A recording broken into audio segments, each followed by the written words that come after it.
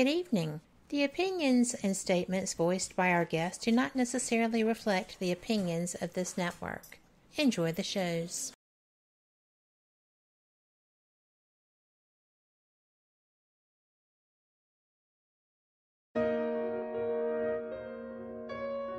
You are listening to WBHM Digital Broadcasting. The best in paranormal talk radio.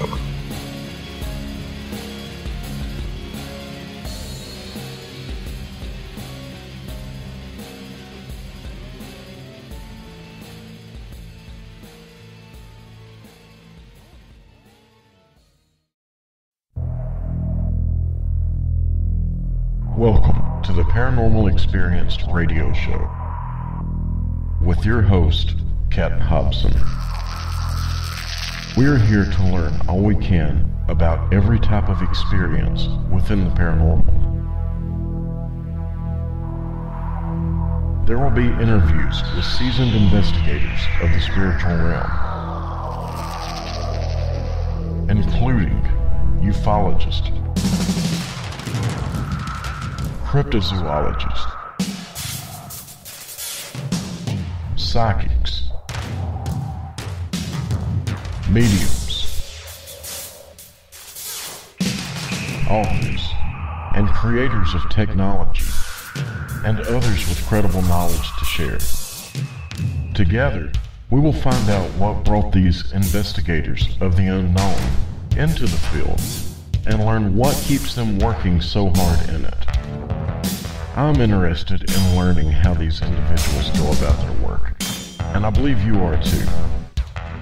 This program is all about bringing those who are in the field together with our listeners who are interested in what they find. For us, the paranormal is all about working with and supporting each other. We're all here seeking answers to the questions that bother us so. Now, let's get those answers. And enjoy the show.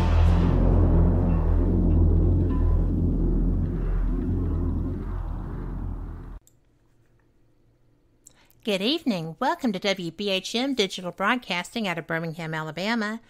I'm Kat Hobson. I am your host for tonight. This is going to be one fantastic episode of Paranormal Experienced with Kat Hobson. I'm telling you, I am excited. I love this woman. We investigate together. She is fearless, and we have fun. I mean, you know, how much more of a recommendation can you give? So, before we get to that, I am going to um, just talk about how much things are just changing around the country right now. I know y'all know it, and that's okay. But it is definitely an interesting moment in history. You know, you've got some people who are opening up, you have some people that are still sheltering in place.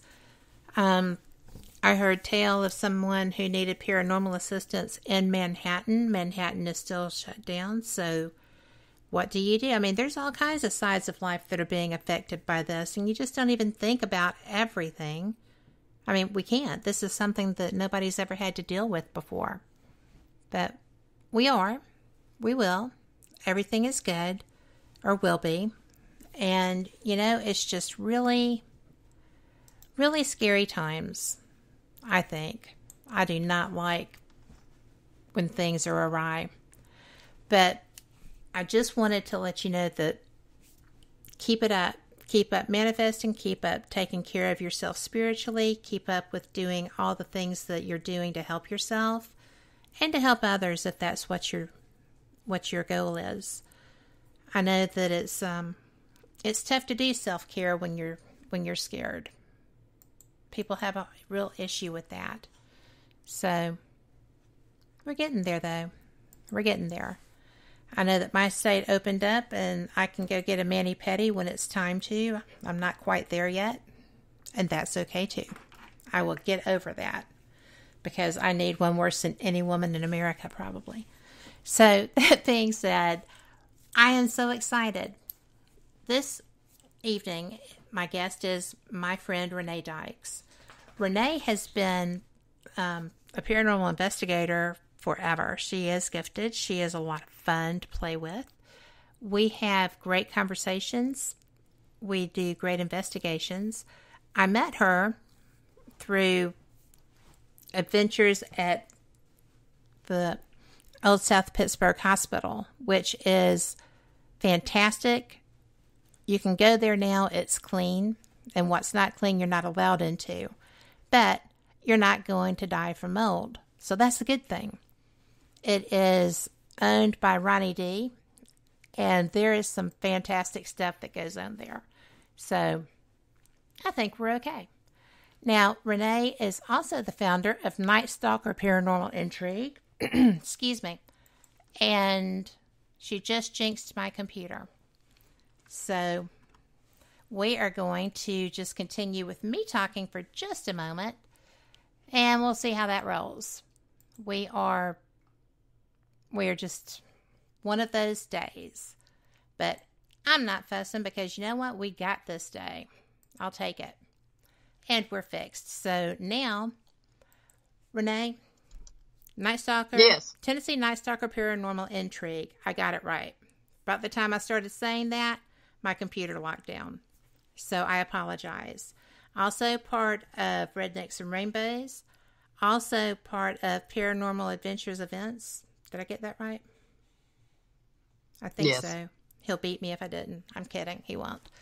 But, you know, you do all kinds of things. And I think my favorite investigation that I've done in a while was when we froze our butts off up there on top of that mountain with Darla and Daniel.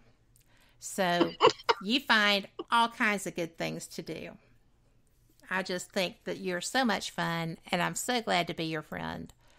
So, first of all, for people that don't know you, how did you start doing the your work in the paranormal fields? Because you know it's not really just for anybody, No, and no. you are you are not a nervous Nelly. So, I never have been. Uh, I guess the reason being is because uh, at an early age, I've been able to see spirits, hear them. The and I've told this before that the house that the we've moved a couple of times, and I always thought that every house we moved into was haunted. And then when I got older and started, you know, learning about paranormal, I figured out that it wasn't the houses, it was me. so, uh, I well, didn't people really what you mean by that because you're not scary to be around. You're not you're not like a haunted woman. You're very vivacious and bright and fun. So, tell people what you mean by that. Uh, well, I guess the, what I mean is that I I've been able, you know, to to feel their presence, to see their presence. Uh, it's not like they follow me around. Yeah, I have some that do, but you know, they're not scary. But I've just been able to see the whatever say was in that home, uh, whether it lived in that home or not. Because I was, you know, like I was young and I, I really didn't know a lot about paranormal back then. I just knew I was seeing things and uh, finally went to my mother and told her that, you know, I, some of the ones I saw and she said, Oh, you're seeing them too. I'm like, what? well, She- it she is generational, right? Yeah, it, it's passed on from what I understand from uh, talking to my aunts and stuff. It's passed on to the women, the women on my mother's side, and uh, it's already passed on to my daughter. It's already Right. passed on to two of my granddaughters that I know of. Well, I I just find that interesting because one of my daughters has um she would say fantastic intuition and the other one is very conscious of things around her. So, Mm-hmm. you know, and it's it's really interesting. And I'm going to tell you that Sherry is in chat and she says she's so excited to hear yours and my voices because it's comforting. It just proves Oh, that the world really is still going around, right? Well, my, my So- computer has, has uh, picked now to update. So as soon as I can get through updating, I don't know. Why That is always this. the case. Never done this. Never. Yeah. Well, mine did it last night, but I wasn't doing anything other than editing, so it was fine. so, well, what was your very first, the very first time that you were aware that there was something unusual happening around you? Oh, that's that's an easy one. Uh, I think I was around 13, 14, hmm and we had uh, moved back to the place we, we used to live a long time ago because we, like I said, we had moved from time to time, but we moved back. I'm originally from Rising Fawn, Georgia. And we had moved in this old house, and that house, I think it was something like 75 year old then. It was a gorgeous house. And I think we were there like three nights. We had finally got all of our stuff set up. And in my brother's room, there was like this banging on the window. And I walk in there and I, and mind you, this is two stories up. Oh, my. And- yes. Yeah, I mean, and I'm like, Mama, come here. And we were all gathered around this window. And it, you could put your hand on it. It was like somebody was knocking on the window. And I went outside, you know, to make sure, if, you know, because, I mean, it was just Mama and me and my brothers. And it was, it, it, I guess it lasted about 10 minutes. And that was the only time we ever heard that in that house that knocking. But now we've, I've experienced quite a bit in that house. Uh, we had, I had a woman that used to cry in the kitchen and she would, uh, leave when you would go in there to, to check, see what was going on. Cause you know, sometimes it's like one night I thought it was one of my cousins had come to spend the night with me and it wasn't her. And she would leave like little teardrops on the end of the table and we would have like our the chairs That's in the kitchen. You know, yeah, and, I, I, and see, I didn't know enough about it back then to you know, to I just know, okay, this woman's crying, and they would they they like the tables, the chairs. We would put the you know when you mop the floor, you put your chairs on top of the table, uh, and leave them up there the overnight. Because I'd I'd mop the floor in the kitchen before I went to bed. Get up next morning and the ti the chairs would be down on the floor. And uh oh goodness i think the the the one that was tragic was i had uh mama had was going to marry this man and i we thought the world of him and about a week before they were getting to supposed to got married he was killed in a car crash it broke his neck Oh, no. and started seeing him. And I like I said, I knew it was him because he wore t- white t-shirts all the time. And that's, I would see that and, you know, just like a sort of an image of, of his face and head. And he would just, cause I thought it was my brother's at one, one night. I was, cause mama would work second shift, you know, and we were there at the house and I was like, you know, go get in the bed, go, go back to bed, go back to bed. And it just stood there. I could see it out of the corner of my eye, just standing there, leaned up against the doorway, looking at me.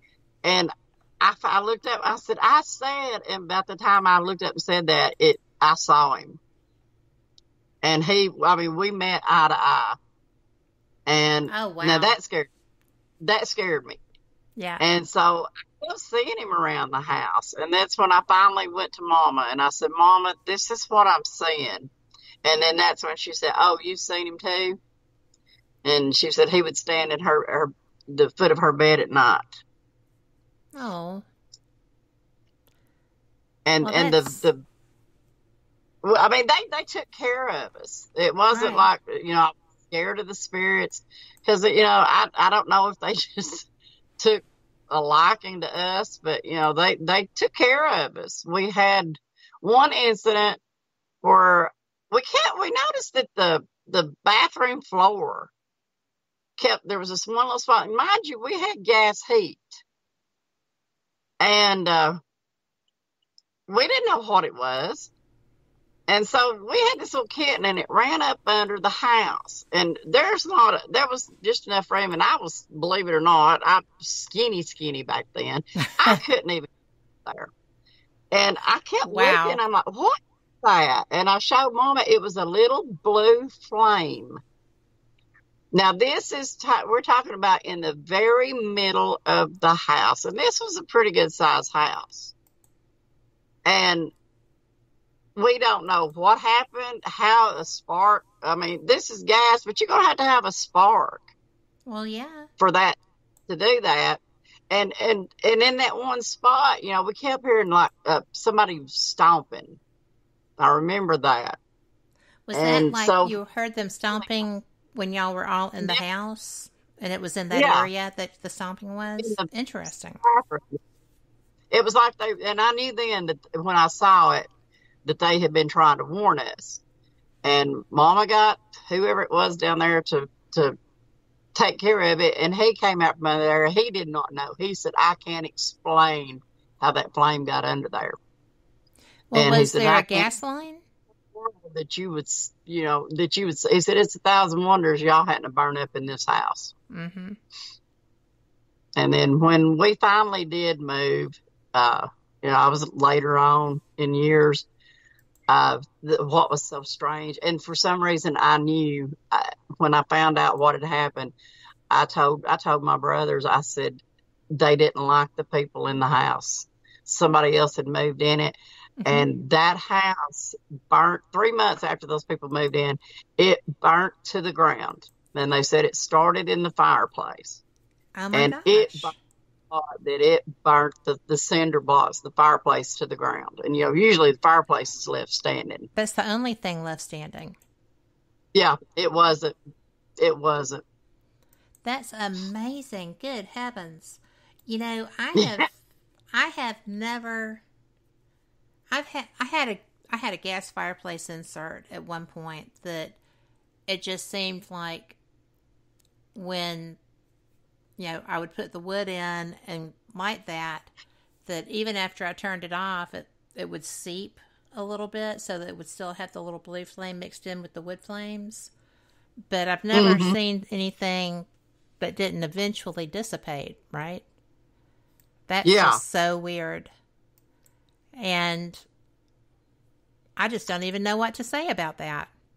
Except I'm glad No, that did they get out? The people? Yeah, Did they people get out of the in it. house? Yeah, Oh, that's good. but yeah, it just it. That is that. I guess it's just stuck with me all this time because I went down there. Just, I mean, it was like like the next week. Right. after it burned. It was still kind of smoldery.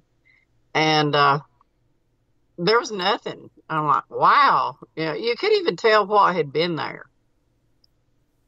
It was just flat ashes all over the place, just smoldering.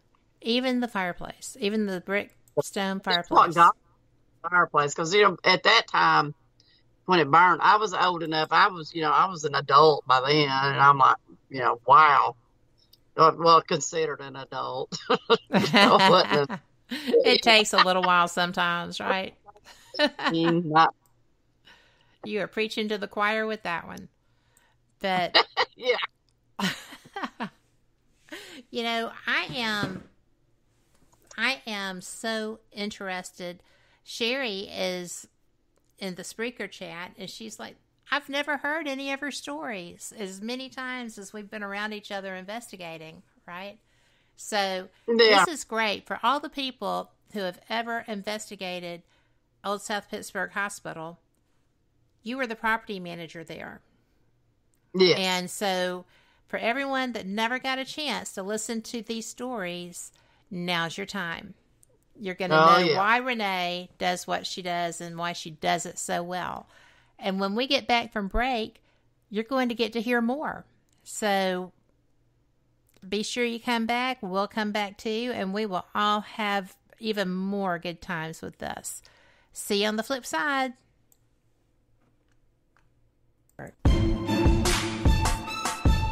You are listening to WBHM Digital Broadcasting, the best in paranormal talk only on Paranormal Experience Radio. Broadcasting live, live, live out of Birmingham, Alabama.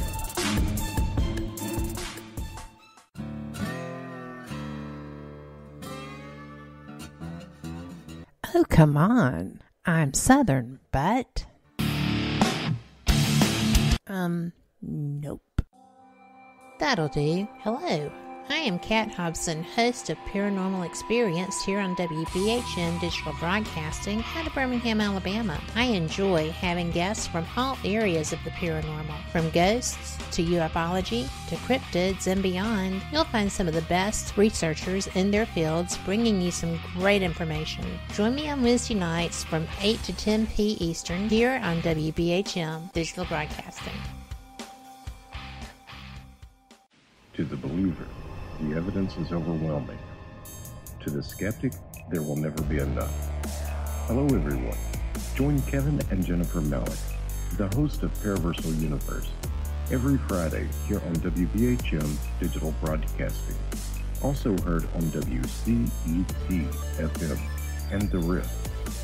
Log on or tune in as they check out the mysteries found within the eight categories of the unknown and unexplained including ghosts and haunted places, aliens and UFOs, theology and mythology, cryptids and monsters, urban legends and folklore, conspiracies, metaphysics, and forbidden archaeology. Listen as Kevin and Jennifer interview the top minds in their respective fields as they share theories and information regarding these unsolved mysteries.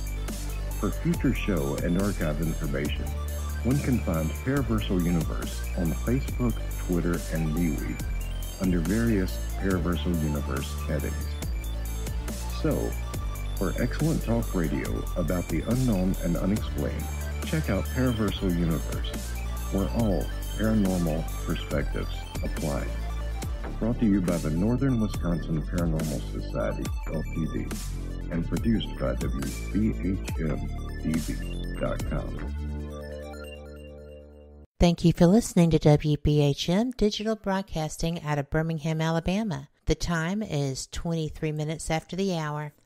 Welcome back to Paranormal Experienced Radio with Kat Hobson. That's me. I want to welcome all of you and tell you thanks so much for listening because you are going to have the best time tonight. My friend Renee Dykes is with me, and she is the founder of Tennessee Night Stalker Paranormal Intrigue. She is a cast member for Truth or Legends in Truth and Legends in your hometown. She is um, a very important part of Rednecks and Rainbows Paranormal, which is Greg Just, Justice's team at TJ, as well as Paranormal Adventures events. And, you know, you just do everything with everybody and you do a good job, but, you know, you were the. You're the property manager at Old South Pittsburgh Uh-huh. Hospital too, and Mm-hmm. yeah, so everybody knows that you do a good job. So Well, thank they're you. glad to have you. Well, you were telling Well, us some of hope- your experiences. I'm sorry, I'm talking all over you. You're okay. What were No, you I just say? said I put everything I do. Well, sure you do. I tell you what, and I'm going to tell everybody listening, this woman can garden. She can can too because she sent me home with some goodies the other day. But um, she is she's amazing. She does everything, and she does it well. So I've been watching those flowers, man. They they give me envy. Um, sometimes I get overwhelmed. I, I I put too much on myself sometimes, but I I'm not. I can't sit around. I'm hyper. So Said the I'm woman into that every. just had her knee replaced. Yeah, so- yeah, and then fail, and then fail on And top of fail. that.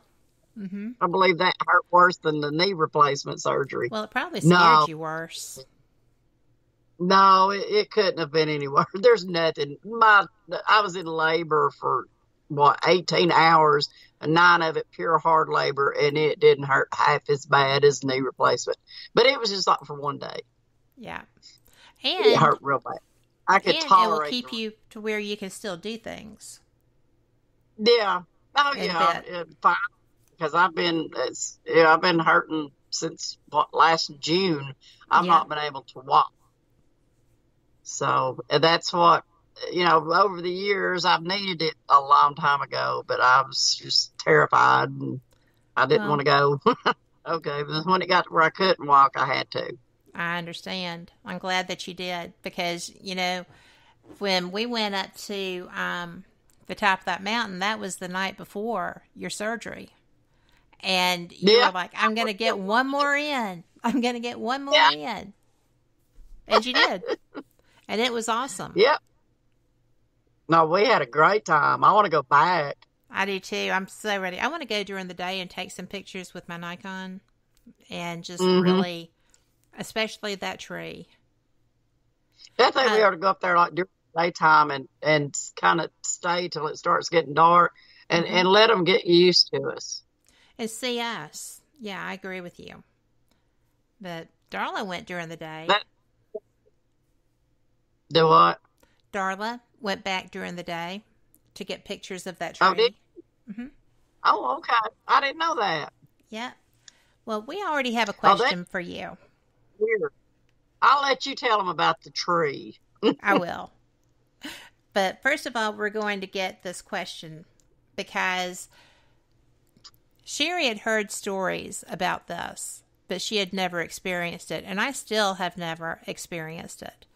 But she she saw um, the creeper at Old South Pittsburgh Hospital, and the thing that Yeah. she saw was crawling on all fours and super scary with how it moved and stuff. Because she's told me that in the past. So, what do you think that is? Is it an elemental? Is it a spirit? It's it's not a human spirit. It is. Uh, I I can't explain how I know. Uh, and and I'm gonna tell you that's the, one of the things. And the third floor is one of the reasons I started studying demonology. Yeah. uh, that and plus something that happened to me at age 20 but that is what really kicked it off was standing there face to face with the creeper uh, he doesn't scare me. He's never tried to hurt me.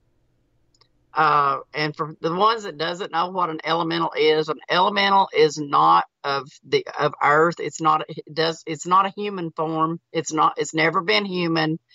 Uh, it's a lot of people say it's sent by the angels and stuff and st- uh, to protect the earth. And I believe this is my own belief. I don't, you know, but that back in uh, the Civil War days, there was a battle, and I know the people that's been to the hospital has heard this, but for the ones that don't, uh, there was a battle between the Indians and the Confederate soldiers and the Union soldiers. Well, the Indians didn't want anything to do with any of it, of course. And it was up, up right behind, excuse me, right behind the hospital that the Union soldiers had came to them and asked them if they could uh, store some of their supplies and stuff uh, on the ground that they had. And the Indians told them yes. Well, the Confederate soldiers found out about it and went up there and massacred everybody Indians, Union soldiers, the whole deal. And from what I get, I have gotten from the elemental. I have, and you're not, and I don't recommend doing this for people that's got any kind of gifts or anything or trying to learn. I went up there and finally, because I was scared to death to go in one the the autoclave room. Uh, but I went up there one day and I opened myself up and I said, I want to know, you know, tell me more about you. And what got was in my head was war, massacre, and murder. And the what I feel about the way I think it came about, and I, like I said, I can't explain how I know this. For people that's like me, they understand. Uh, but the reason I think it's an elemental is because, and I've told this when I used to tell the the tour, uh, blood on the land, and I think the Indians had called it down because you know Indians were very spiritual people, still are, and they they believe in you know protecting the earth, protect, Yes, protecting their land, and I think they called it down to help protect that land. And then as the years, maybe they got pushed out. I don't know what happened. You know, maybe they got pushed out of their land or whatever. And somehow or another, this elemental either didn't want to leave or was forgotten about, you know, and stayed. But as the years went by, the elemental still protected the land. And then when the hospital was built, then that's where the children come in. And I think now he's- he he stayed there to protect the children because anybody's been on the third floor and you've had spirit boxes and stuff, you will get a lot of kids chattering, talking to you, uh, interaction with you. You'll get them touching you, and then all of a sudden it's like you'll you'll hear he's coming. Or he won't let us talk, or we've got to go. And I've had them tell me to run Really? and then nothing, nothing. It- It'll be dead the rest of the night. That's interesting. Because that's the first place that I ever had an experience was in the I was told it was the nursery. I don't think it's the nursery. It's the glass stem, the big glass window on the left past the OB delivery area. And Yeah. I I had on a doctor's coat, you know, little role playing, trying to get spirits to cooperate because I always try stuff. It's always fun, and I like role playing. So there you go. But I was sweating bullets to beat the band, so I set my K two on the rocking chair as I was, you know, struggling out of this. Put it on over a sweater, dumb thing to do, lab coat. And the mm. girl that was my partner for that part of the investigation looked over and she was like, Man, your K2 is wide open. And I was like, What? And I looked down and it was just pegging in a rocking chair in this room. You know, nobody touching it. It had been, you know, dead when I came in, so it wasn't the lights. Nothing had started happening until I set it down. Yeah. And so I didn't touch it. I just started talking. And it was the best. Is this true? I think it is. It's the best K2 conversation I've ever had. The only one that Yeah. could be close to it would be one I had at Fort Morgan. So, you know, oh, I ran out of questions. Oh, we should run down there one weekend. Yes, I love Fort Morgan. Me and my daughter investigated it. It's amazing, isn't it? Yes, I have some great video from there. You didn't get any snakes, did you? No, no, Okay. any snake. because they they're there. Snakes live there. You want to investigate Fort Morgan in the in the wintertime. Please. Trust me. Yeah. that. But um, but this girl, and it was a woman, and she had had her children there, and she had lived in a farmhouse that was, you know, going back towards town a little bit, and she just kept home. I mean, no kidding. 20 minutes, 30 minutes. And I'm sitting there running out of questions to ask her. And I said, you know, there there are voice recorders running. If you can bring your voice here, I'll be able to know what you were telling me and I will be able to come back and talk to you. And you know, this is fine. I appreciate you doing this. And she just kept going. And finally, I said, you know what? We have to move on down the hallway, but you're welcome to walk with us if you want to. As long as I'm in the hospital, you could be around me. And mm-hmm. so it was just the craziest thing ever. That whole third floor is such an experience. I've never seen the seven foot tall guy down there. I've seen a great big shadow guy um, down by the ER entrance. Yeah, But- no, yeah. I, I have pictures of them too, and that's where he is uh, is at the ER. And there's, I mean, there's uh, from what I did on research, uh, because, and I've had Doogie ask me, how in the world did you get this information? He said, I have tried to talk to the people in South Pittsburg and they will not talk to me. And I said, because you're an outsider. Yep. Uh, small town and plus the way, I'm not getting into no names or anything, but the way that the hospital was uh, perceived hmm the first time, Yeah. uh, people didn't trust. And I had to do a lot of talking. And I'm like, you know, this is me. I promise your name will not be mentioned. You will not, you know, you won't get in any trouble.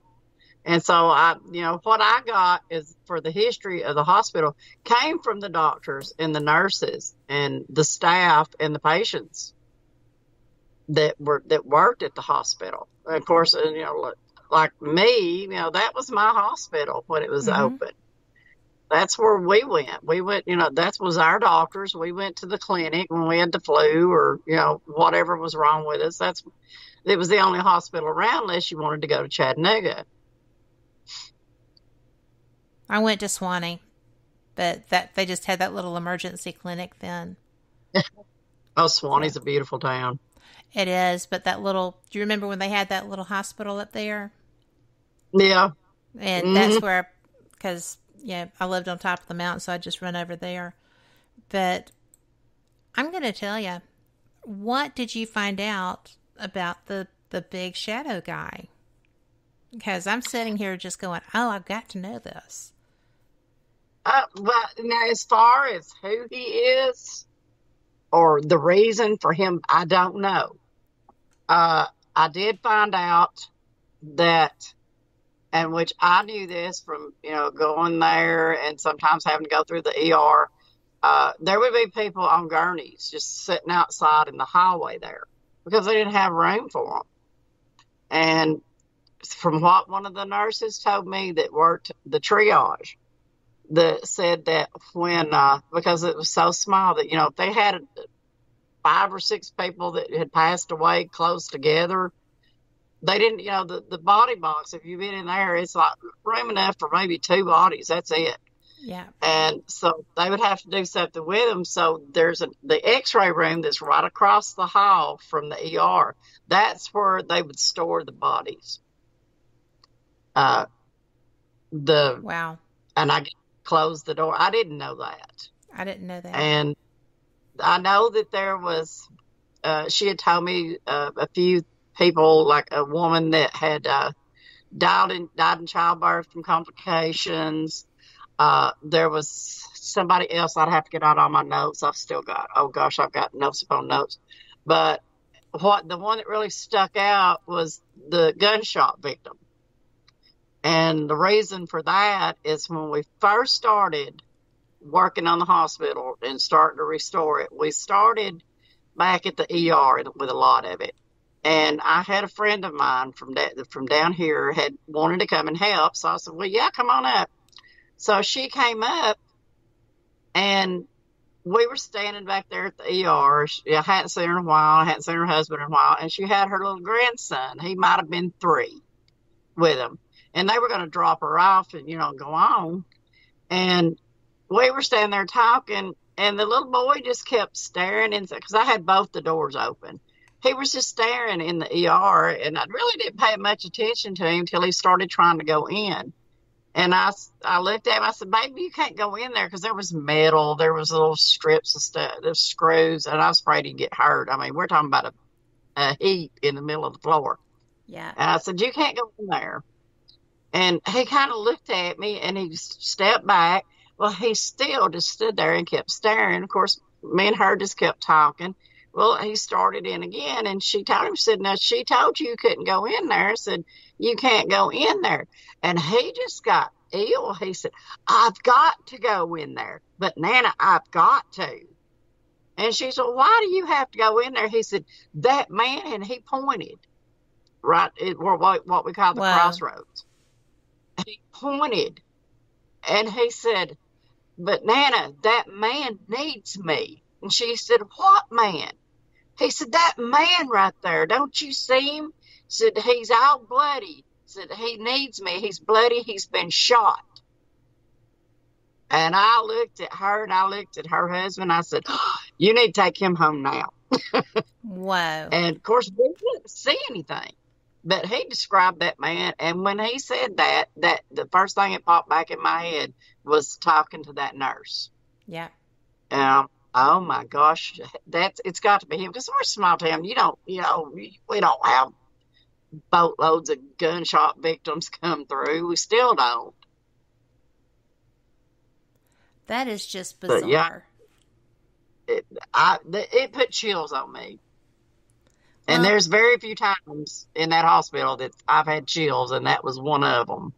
Yeah. I've been at that hospital since what, 2014, 2015, as far as invested paranormal. Mm-hmm. and uh, pretty much every day, every night. you know, Right. Well, that's just by such a. times. It doesn't I matter. felt it. It would make there. anybody feel that way. Yeah, You know, to be And, just I coming mean, out of the blue. yeah, yeah. Because I mean, especially with a three-year-old child that had no clue what you know, what any. He didn't know what paranormal was. You know. He just knew there was a hurt man that needed him. Yeah, and describing him. Uh, that's that. What that was really the kicker. Him standing there describing what the man looked like. Yeah. and I don't know if that's him, you know, or who it is. Uh, it could be James. Uh, that was he was uh, in the boiler room. hmm He was the maintenance man when it was uh, when it was open. Uh, he was a black man, uh, and he's Cajun. And I have gotten him. He's not. He's not a very nice person. No, he's not. he doesn't like people. And I have gotten him on my voice recorder. And not Spirit Box, but on the voice recorder. Uh, well, he, he called me a choice name at one time, and then he turned around and told me it was at Christmas time. I said, and of course, I'm not hearing this at the time until I played it back. And I said, Well, James, we just wanted to come in here and wish you a Merry Christmas. And you can hear him just plainly, Merry Christmas. I'm like, wow, he's not a filthy name. And then he's bipolar. I think got he definitely is bipolar because he is the weirdest acting person that I've ever Mhm. come across on an investigation. Yeah, like Mhm. when when you get a Sloss and you've got the guys that are work you know still working there, they're Yeah. weird, but they're weird to each other. Like they mess with each other, you know. And Yeah. um, because I asked one time, this was the weirdest thing because this was on my voice recorder. I didn't. I hated. I hate white noise, so I I try to use just my recorder. And um, so I just said, "Well, who was that up there walking on that catwalk? Because you're loud. you know, are you working? Because I was down in the boiler room there, and they were up, Yeah. yeah, around the wheels, and so, well, the inverters. But I got this real old man with the long, drawn out talking. Said, Yep. you know, that's uh, what did you call him? That is bad company. And this little German guy goes, Jawohl! And it's just a real little voice. I mean, it's a really quick voice, but it's definitely Jawohl. And then you Yeah. hear another guy say, Bad company, eat poop. Except she didn't say Mm. poop. And so I had three voices and one EVP responding intelligently to my question and to each other. And I was just like, holy snap. I I can't believe that just happened. So Yeah. I've started live listening more.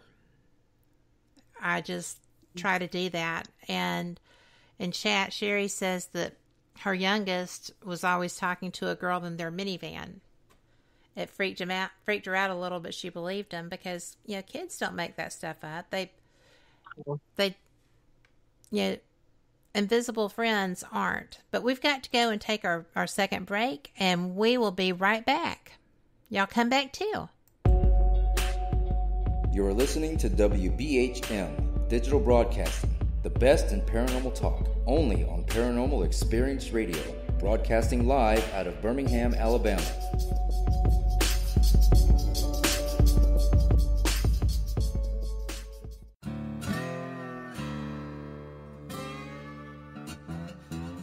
Oh, come on. I'm Southern, but. Um, nope. That'll do. Hello. I am Kat Hobson, host of Paranormal Experience here on WBHM Digital Broadcasting out of Birmingham, Alabama. I enjoy having guests from all areas of the paranormal, from ghosts to ufology to cryptids and beyond. You'll find some of the best researchers in their fields bringing you some great information.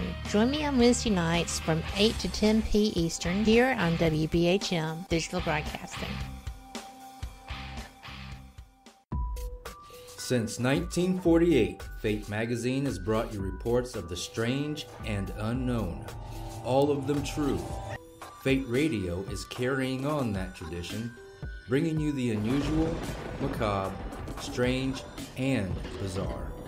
Join host Kat Hobson Sunday nights from 8 to 10 p.m. Eastern on WBHM Digital Broadcasting.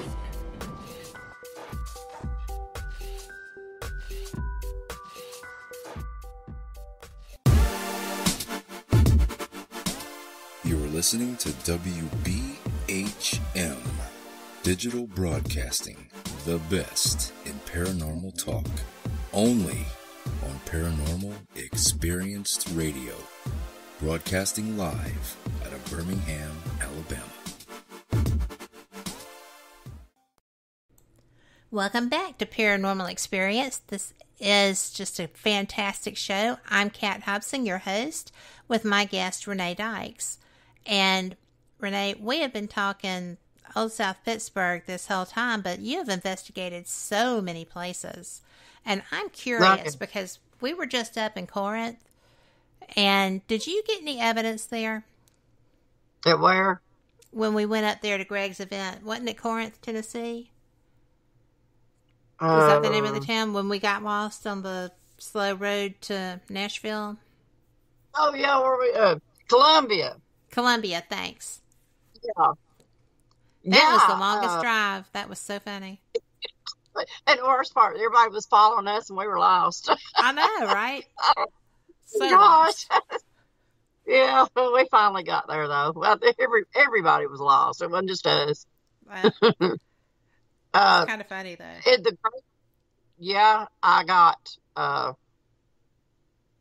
what was it? It was like it, was a man's voice, and he was telling me hello, and I'm like, y'all don't hear him. Yeah. And when we were in the uh, where uh, they had the video conference set up with Jack, Yes. that room, I don't know what you call it. Uh, I got a lot of stuff in there. I got touch, and oh, the weird, the strange part in the other room, the I guess the living room, great room, whatever it was. The the picture when Dougie was in there talking, the Mhm. picture that was behind them, like the family picture, Yes. uh, the portrait. I was standing there looking at it, and Did it morph on you? and looking and look. It was like it was waving it Yeah. in waves. Yeah. I saw And that too. says that- I said, "Don't move, just stand there a minute." He said, "What's going on?" I told him. I'm like, "That picture keeps." I said, "It's just like they're wavy." It's like they're going in and out of focus. I just considered it like a morph. You know, like it was just, like you said, going in and out. Yeah, I mean, we got was some stuff I think uh, that got debunked, like the latch and the that I don't know what it was, armoire, whatever it was. Mhm. They kept unlatching. They figured out what that was. But yeah, I really liked it there. I did too. And I think Candace got a lot of stuff down down in the uh, the cellar. yes. That cellar was very interesting. Uh huh. It was. And it was, it did, excuse me, it didn't matter what area of it you were in. There was, there was energy all the way through. And it had primarily not great concrete floors. I mean, it was, there were places it was dirt, it felt like. So yeah. I was just really impressed with that place and the fact that it was just so beautiful.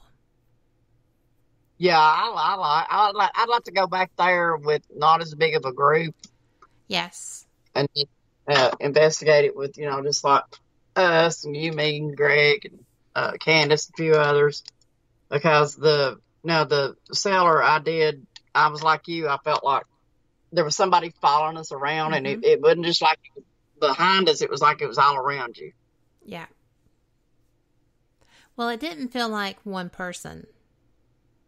It felt Mm-mm. like a bunch of energy. And if that was one person, that was a bunch of energy. so, Yeah. yeah. I'm glad they were just watching. But And I take another one. If you, if I don't know if you've ever been to Hales Bar. I have never investigated there.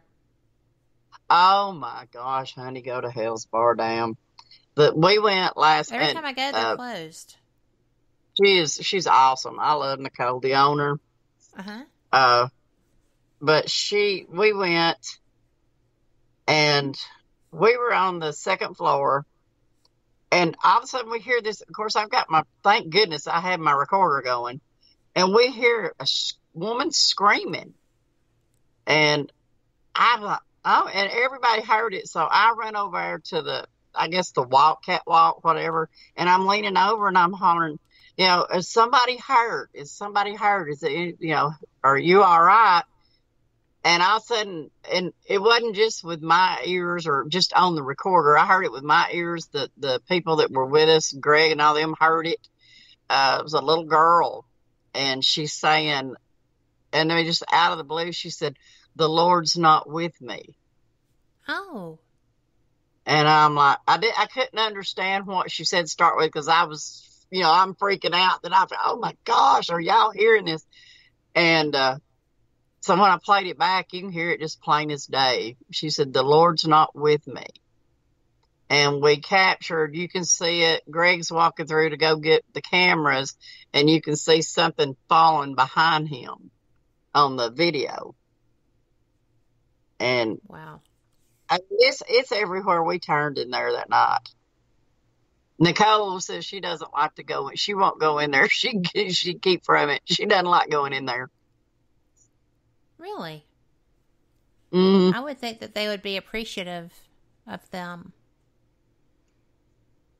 of her. one want to know what equipment do you use? Yeah, I Gary is say- always interested in that. So I'm curious too, Three suitcases full of equipment. at least. I mean, you comes out and I think it's cool. Then you know, I try it, and most of the time it winds up in the s- my call the suitcase of lost souls. That she one. filled up the back of my escape, Gary. Well, you never know what you're gonna need. You don't know. You Uh, don't know what you're going to need. but always be prepared. But uh, I guess I, I'm old school like the rest of them. Give me a recorder, K2 meter. Uh, I have the new uh, G uh, GS, the Ghost Box, the new Spirit Box. G, I think it's GS2 is what's called from. Uh, but now I haven't. I've got to use it a little bit, but not where I, you know I could really thoroughly like one room because when you use it, there, there don't need to be a bunch of people around because it's it has the laser, it does the temperature, and it has the little image. So when it captures something in those lasers, you can see it on the on the equipment. And I've not really got to use it yet to where I can really check it out good. And I I'm hoping that I get to go somewhere where I can use it soon because I got it right before I had surgery. Right. And then this virus showed up right after you had surgery. So, Yeah, you know, right as Well, you were I- getting to where you could have gone out. I But- think I uh, I was here in December because me and John both came down with it, Mm-hmm. and that's the sickest I've ever been in my life. We were sick for like two weeks. We could not move. That's exactly what what- happened to me. David and I were talking about that because um, he never heard me, but I have never been so sick in my life. I'd never had the flu before, period. I'd had pneumonia, Yeah. but I'd never had the flu. And I got up, I was sick all night long, and, but I, you know, that's why I didn't think it was the flu because flu is the upper respiratory thing, right? So I went to my doctor that morning and I said, You got to do something. I don't care what you do. But, you know, other than putting me down, you can do whatever it takes to make me feel better. And he did a, a swab and he said, You have A and B flu. I was like, Well, fix it. You know, I don't know what this mm-hmm. is. So it was the weirdest thing because, no kidding, one of my girlfriends who is also in the paranormal, she is the paranormal educator actually, Mary Marshall, had this. And she mm. said that it was the weirdest thing. She would have symptoms, they would abate, she'd get new symptoms. And Yeah. that's exactly what happened when I was sick. And I also slept for over a week, solid. I got yeah, to- I laid up on the couch. I couldn't move. I couldn't get to the couch. I I couldn't was- breathe. Yeah. I was scared to death because I, I'm bad. If I get a cold, I have to start taking all kinds of mucus medicine, stuff like that. Because if I don't, it will lodge in my lungs every time. And this Yeah. went straight to my lungs. Yeah, and John thought I was going to have to him to the ER. Yeah, we're we're the type of people we don't go to the doctor for just sneezing. You know, we've got to be Yeah. almost dead. Well, but seriously. Yeah. You know, but I have I just didn't even know what to expect. They gave me um one of those shots that have all the things in them, a little antibiotic, a little Decadron, a little antihistamine, everything. And by the time I got home, my lungs and my the top of my chest was clearing. And um so I slept. And ever since this stuff came out, you know, to the fore, until I started hearing the symptoms, because I did, I had a stomach thing, then I had a coughing thing, then I had a head thing, then I had more coughing thing and settling in my chest. And I just kept taking medicine because, you know, I didn't want to get I didn't want it to develop into a bad pneumonia because I had pneumonia for almost three months a couple of years ago. And so, you know, when I started hearing this stuff and especially about how this um this stuff changes, I was like, Well, I think that's I think I'm fine. I think I had that. you know. Yeah. But I'm still not going out because my chest is still messed Well, up. we well we don't go go out, but uh, you know, we go to the store, we still wear our Right. mask. We you know, Yeah. whole deal. Yeah, I was going to tell Gary too before I forgot uh, about. He asked about what was some of my favorite or my favorites. I Yeah. also use uh, the and you know the game cams. hmm Uh, they're awesome. If you have never used one, and I don't suggest buying, I don't suggest buying the most high price one. I don't suggest buying the cheapest one. Uh, the one I have has like, I think it's like 360. hmm Uh, it's got all kinds of little stuff on it. I, I think I paid like 80 to $100 for it. And that has captured for me more stuff because you can you strap it onto a tree if you're outside, set it in a room, strap it to something, or just set it down somewhere. I've captured more stuff on that game cam than I've with my uh, night vision camera or anything has. Well, and they're brilliant. I although I have seen pictures where it was like, you know, Spirit was coming up to the game cam to check it out because I think they see that infrared. I think they can see Yeah. that. So we are fixing yeah, to go to the top of the hour break, and we Oh, okay. will we will cover equipment again when we come back because I know something else he wants to know if you use. So Oh, okay.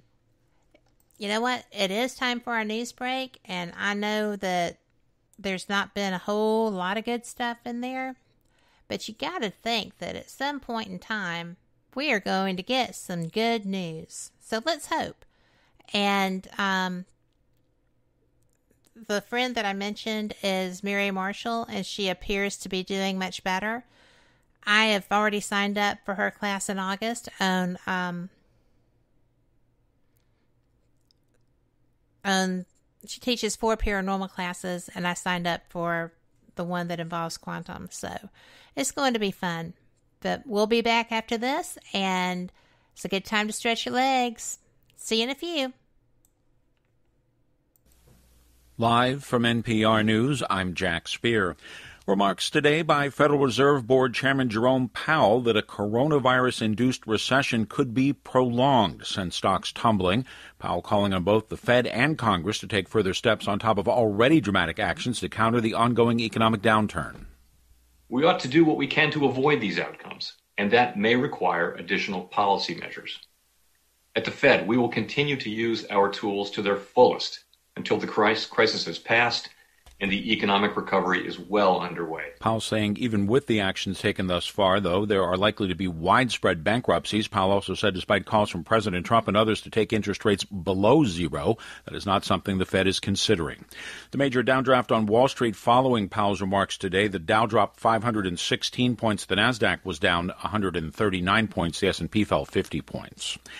Officials say more children are being diagnosed with a rare syndrome, and doctors believe it has something to do with the coronavirus. The cases involve inflamed blood vessels that can affect the heart and have caused three deaths in New York. From member station WSHU, Charles Lane has more. Since the pandemic began, children have appeared to be among the least vulnerable to the potential ravages of COVID 19. But now, more than a dozen states and at least five countries are investigating cases of what's being called pediatric multisystem inflammatory syndrome. New York Governor Andrew Cuomo says there could be more cases that have gone undetected. If your child has been exposed to someone who had COVID, even if it was several weeks ago, uh, that is a special alert in this situation. Cuomo is urging hospitals to prioritize coronavirus testing for children who present with symptoms such as fever, rash, and abdominal pain. For NPR News, I'm Charles Lane in New York. Two Republican senators released a list of Obama administration officials they say were involved in the unmasking of Michael Flynn on some intelligence documents. Comes as President Trump has been stepping up attacks against his predecessor and former Vice President Joe Biden. Here's NPR's Greg Myre. In the final months of the Obama administration, officials made dozens of requests to reveal or unmask the blacked out name of Michael Flynn on the intelligence documents. This practice of unmasking is lawful and often used by national security officials who need to see the names to make sense of some reports. However, President Trump claims this was an attempt to undermine both Flynn, the incoming national security advisor who lasted less than a month, and more broadly, the incoming Trump administration. The latest documents name then Vice President Joe Biden as one of those involved, but do not indicate any wrongdoing.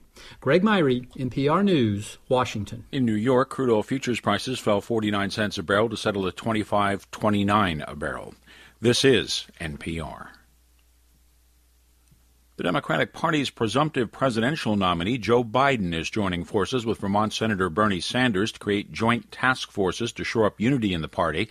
NPR's Asma Khalid has more. In total, there are 48 people participating. One key name is Congresswoman Alexandria Ocasio Cortez, a leading progressive voice in the Democratic Party. She'll be co chairing the Climate Change Task Force, along with former Secretary of State John Kerry. There's also Congresswoman Pramila Jayapal, who's dealing with health care, and former Attorney General Eric Holder, who'll be working on criminal justice reform. These task forces go back to a pledge that was made last month when Sanders endorsed Biden. The two men announced working groups to make recommendations on six major policy areas immigration, education, healthcare, the economy, criminal justice reform, and climate change.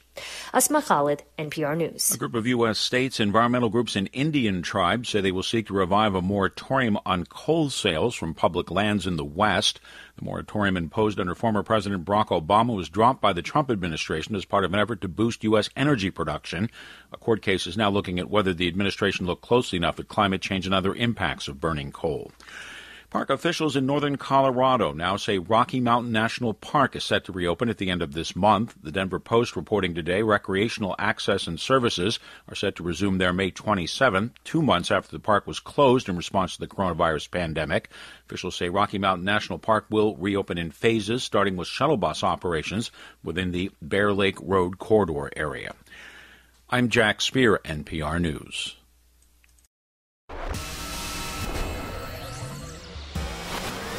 You are listening to WBHM Digital Broadcasting, Birmingham, Alabama.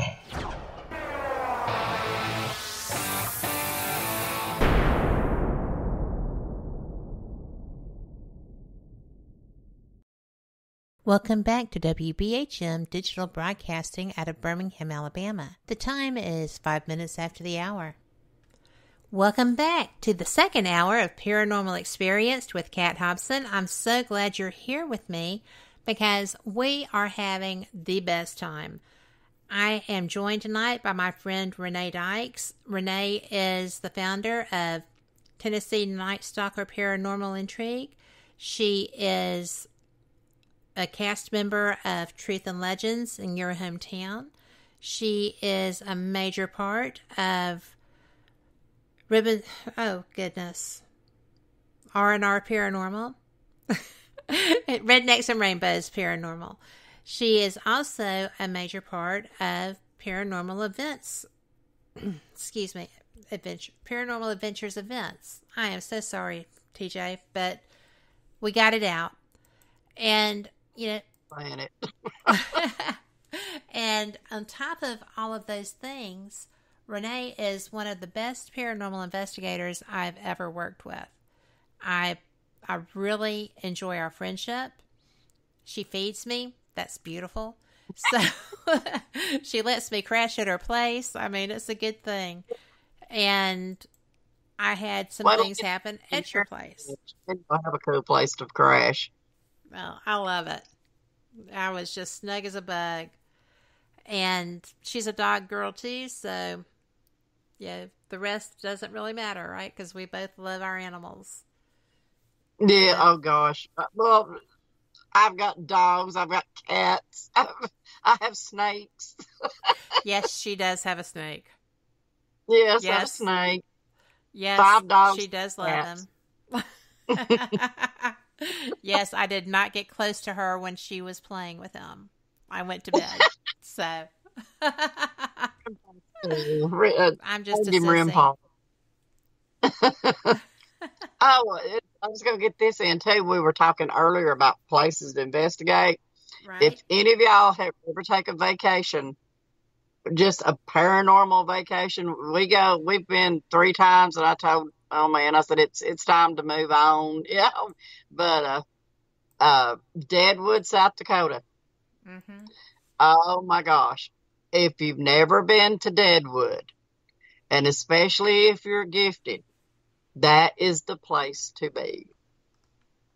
Not to mention that everything around it you can go see is beautiful. The, uh, the, oh, good grief, the Devil's Tower. Mm-hmm. Uh, I so want Mount to see that. Uh, I'm gonna tell you, when you go to Devil's Tower, it's it's you get this weird, I mean, very weird feeling. Uh, uh, you can feel. I mean, it, it's a it's the a spiritual place. The Indians uh, consider it sacred. Uh, you'll find prayer cloths all over the place, and they ask you not to touch them, which I wouldn't. But just walking up to it is it just oh, it's just eerie. I can't explain it because it, it's there's this this thing sitting out in the middle of nowhere, and nothing, nothing there's nothing like it around. It's just like just come up out of the ground. You know, I I heard somewhere the whole ex- explanation for how that was created by being pushed out by the geothermals that were, you know, pushing the Earth up and all this other stuff, and I'm like, Steven Spielberg was given that movie to make. I Mhm. am going with that. Yeah, well, that was me when I first when we first said I want to go see. Uh, uh, oh, good grief! What's the name of the movie? uh, Close Encounters of the Third I Kind. said, I'm gonna go powder's the third kind. John's like, what? like, the, the, the, the thing, the mashed potatoes. I want to go see that. yeah, That was such a But- good movie, though. I mean, for being in that era, it was awesome. And Oh, I am totally Well- all about ufology. I love it. So I Mhm. think it's because of being influenced by shows like that and Star Trek, and then seeing all the technology that they used on Star Trek implemented in our world today. So Uh-huh. Gene Roddenberry got a download, seriously. yeah. So But yeah. I mean, and the the Badlands when you go there, that's another one that's eerie because it's just it's just like a you're stepping into a totally different world. But I mean, Deadwood. Uh, we were there. We went three times. Uh, I have never failed to get any uh, response in my room that we stay in. Last time I went, I had all my equipment set up, and the little girl that cleans our room, she wrote me a note. She saw the the, the equipment. Are you a paranormal investigator? And this was what last August when I went. Oh, I was in so much pain, but I went anyway. But I had one. Uh, the first year we went, I got a full, I mean, a full blown conversation on my recorder with uh, the owner of uh, the hotel we stay at, the Bullock, and Seth Bullock.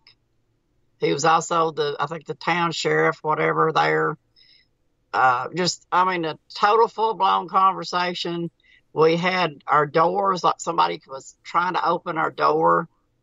And even Johnny was reading a book. He he put his book down, was looking at the door. I said, "You're hearing that?" And he said, "Yeah." And I stood there for a minute. It did it three times, and so I ran to the door real quick and opened it up, and there was nothing, nobody. And the only way for the person, for me not to see them, because of the way it's made, was to have jumped over the balcony. and I don't think they did that. But no, uh, probably not. Now, did you say the Bullock Hotel? the Bullock, B U L L O C K. It's a beautiful hotel. It has all. Most of it is still the original stuff that Seth Bullock brought in or had handmade. He, had, I think, the fireplace came, the tiles and stuff came from Italy. Uh, but the whole town. I mean, it's not just that. The whole town is beautiful. It's set in the, the Western days. It's still, you know, they have like the uh, shootouts in the street with uh, uh, Hickok, Bill Hick, Wild Bill Hickok, because that, that's where he was killed. Uh, the number 10 saloon. Uh, it's still there, the original saloon, because they've built the town up now because uh, of the flooding. So some of the buildings still have the old original buildings down below. And it's just, it, it, it would take you. We stay a week every time we go, and we still haven't seen everything. But it'll take you that long to see everything. Every time we go Wow. back, we find something we didn't see. No, uh, we went to. A, I kept wanting. I could smell barbecue. I told him, I said, I want to go up there to the barbecue. I've got to have some of that barbecue. I said, it smells so good. So we go and we sit down. The place is called the Maverick, and we're we upstairs and we're on like the the corner of the building, and there's one table next to us that is in the corner, and we're right beside it. And I kept seeing, some kept, you know, catching my eye, and I kept seeing this man behind me. And I finally, I turned around, and it, he was sitting in the chair backwards with his arms on the back of the chair with his head in his arms. And oh. I'm like, oh my gosh. I said, John, do you see? He said, I don't see nothing. I said, well, I do. And I described what he had on. He had on like the double vested shirt, you know, they wore the button, you know, up at the side, up the side there. And he just sat there and stared at me. And then the girl, she came up to take our order. And I said, and I told her what I was saying. I said, I know this is going to sound stupid, but do you uh, get a lot of people saying about haunt, you know, this place being haunted? And she said, yeah. And then it come to find out that the guy that was on Ghost Adventures, uh, the last time they went to the Bullock, uh, I think his name's John. he worked downstairs. I didn't get to talk to him because, like I said, I was up there. I, my knee was killing me. So I told myself, well, we'll go tomorrow. This is on a Saturday. Of course, we went the next day to find him, and he was off work that day, so I didn't get to talk to him. But anyway, yeah, she Damn. she came up and I told her what was going on. Well, she walked off, got her order, with her, a drink order. Well, she comes back with her drinks and another couple, and she sat them in that chair or in that table that was in the corner there beside us. And that made that man, he was so mad. He jumped up and he was waving his arms, and you could tell he was ranting. And I'm like, wow. And she came over there. I said, as she started off, I told her, I said, come here. And she said, you have made, I didn't say it like that, but I said, you have made him mad. And she said, what? I said, he is that, and I could see him ranting at her. And then when she walked off, he was storming right behind her. Oh wow! And I'm like, this is awesome. And then I saw it, and there's a lot of places there. It's called like Pam's Purple Door. That's one of my favorite little gift shops. And come to find out the way that there's different ones down the street that's names similar to that. And those were the brothels in the day. Really? And that's how they figure out, you know, which, you know, they like Pam's Purple Door, you know, okay, purple. Well, I, you know, I like the women in this one. So that, you know, we'll go to the purple room. Yeah, whatever. And, uh, so there was, there's another building right beside it called Happy Days. And this is like the third, the second store from our, from where we were staying. And it's got like old, all old little games like we played when we were kids that you can't find now. And the last time we went, I'm like, John, this thing's got a downstairs. And of course, you know, it was like the original. That Oh, was the original. So, you know, this was our third visit. And we're just finding out I tell how many times we've been in that store. So we walked down, and there's this one little place, little cubby hole right on the left, and it's got like all the dolls, Barbie dolls, stuff like that. I saw one of the, I guess, prostitutes. She darted in that room. Of course, I, I'm right behind her, and she disappeared into the wall. Oh wow! So she didn't want to talk. Yeah. No, she she just she saw me. She was standing there like in the little doorway thing, and then when she saw me, she darted in there. Of course, I'm you know here I yeah I'm dumb. I'm going in after you. it's like we, we we were at the hospital one time. We were all hunting, and uh, it was Heath and Shane Edwards and a bunch of us, and there was this big old humongous spider. This was back when uh, Oh, the other owner had it and it was, I mean, this thing was huge, and we're all in that room. We tore out there. We were jamming the door because we were all trying to get out of the door at the same time. oh, that's funny. I wish I'd seen that. I wish I'd gotten it on camera. The, the room with a demon, but we'll take off running away when it's a spider. oh, I would run from a spider, and God forbid it should be a snake. I think I would just fall over. I mean, Yeah. I would be no challenge mistaken. for a snake. But we are just about um we're close to having to go to a, a break here in a minute. But Denise was wanting to know about the hotel because they are going looking for some place to go for their anniversary. We share the anniversary of May 26th. Yeah, getting married on Memorial Day weekend, so you can go get that vacay. But The Bullock Hotel. the bullock, I put it in the in the chat room, We and stayed. We stayed another one called the Tin Lizzie.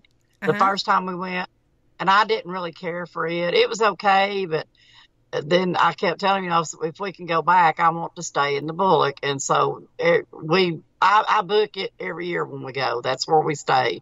And it's the the building itself is gorgeous, and and it is so haunted. Uh, the, and that's what what really got me wanting to stay there. We did the tour, right. and the woman was telling me, I kept feeling somebody pinching the back of my arm. And I looked around and there was this woman, she was standing maybe four feet behind me, five feet. And I turned around and looked at her the first time. Well, I turned back around and tried to ignore it. Well, it did it again. And so I turned back around at that woman. I'm like, And she's like, what? And I said, somebody's pinching me. gosh, of course, they're hard. What did it feel like? I said, like somebody's pinching you. But now Seth Bullock's, uh, his bar is downstairs, the original Seth Bullock bar. Mm-hmm. And it's, oh gosh, you can, you can walk down there. We've got pictures from it too. Uh, it's been, it's been put on, uh, what was that show that used to come on, uh, years ago? Amazing stories or something. Uh, oh, good grief! I can't think of the name. Was it about it right the architecture, now. or was it about the? Well, I'll tell you what. You ponder that, and we're going to go take our break, and we will be right back. Y'all come back too.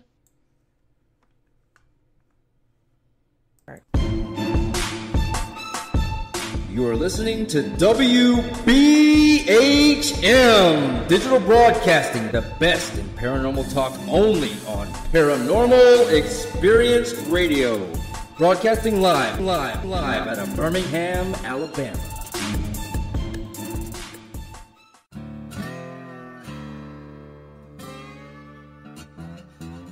Oh, come on. I'm Southern, but.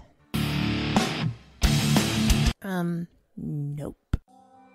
That'll do. Hello. I am Kat Hobson, host of Paranormal Experience here on WBHM Digital Broadcasting out of Birmingham, Alabama. I enjoy having guests from all areas of the paranormal, from ghosts to ufology to cryptids and beyond. You'll find some of the best researchers in their fields bringing you some great information. Join me on Wednesday nights from 8 to 10 p. Eastern here on WBHM Digital Broadcasting. To the believer the evidence is overwhelming. To the skeptic, there will never be enough. Hello, everyone. Join Kevin and Jennifer Malik, the host of Paraversal Universe, every Friday here on WBHM Digital Broadcasting. Also heard on WCET FM and The Rift. Log on or tune in as they check out the mysteries found within the eight categories of the unknown and unexplained including ghosts and haunted places, aliens and UFOs, theology and mythology, cryptids and monsters, urban legends and folklore, conspiracies, metaphysics, and forbidden archaeology. Listen as Kevin and Jennifer interview the top minds in their respective fields as they share theories and information regarding these unsolved mysteries. For future show and archive information, one can find Paraversal Universe on Facebook, Twitter, and MeWe under various Paraversal Universe headings.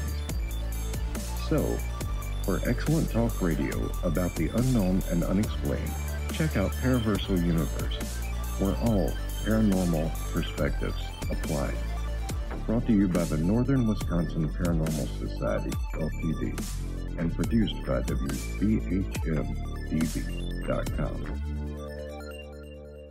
Thank you for listening to WBHM Digital Broadcasting out of Birmingham, Alabama. The time is 23 minutes after the hour. Welcome back. I am so glad that you're here joining us on Paranormal Experienced with Kat Hobson because my guest Renee Dykes is just so much fun, and this has been so informative.